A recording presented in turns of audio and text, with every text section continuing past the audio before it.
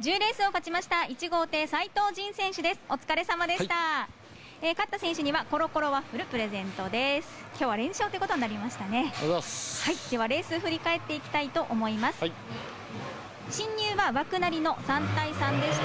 斉藤選手はインコースからです。はい、はい、依然としてまあ追い風しっかりという水面ですよね。はい、はい、スタートはいかがでしたか？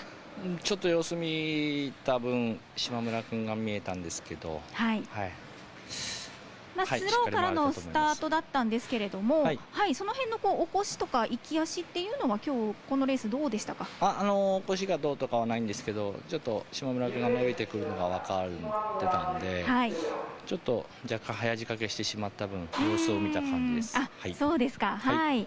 まあ1マークはしっかりと回ってはいけましたか？はい、水面の割には。はい。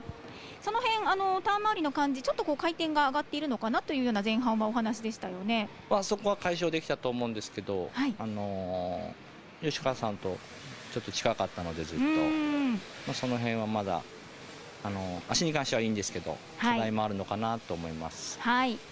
えー、直線のあたりというのも、まあ、悪くはなさそうな雰囲気なんでしょうかね。そうですね、あの突出した伸びはないですけど、あのバランス取れて、足に関してはいいと思います。はい。じゃああとはそのプロペラのちょっと細かいところをしっかりと合わせていければというような感じなんでしょうかね。そうですね。うん、今日ちょっと大きく叩いたので、ここからちょっとあの微調整していきたいと思います。はい。じゃあ結構いいところまでは持ってこられてるのかなと。エンジンの素性がいいので、はい、あのプロペラだけやってます。はい。まあ今日はね連勝ということになりまして、まあ、はい、いいリズムにもなってますよね。はい、水面と枠に恵まれてるんですけど、はい、エンジンがしっかりしてるからだと思います。はい。ではこの調子のままねまた明日も高レースに期待したいと思います。はい。はい。では最後もう一言ファンの皆様にメッセージお願いします。はい。えー、明日以降も粛々と、えー、一生懸命頑張りますので応援よろしくお願いします。斉藤選手にお話を伺いました。ありがとうございました。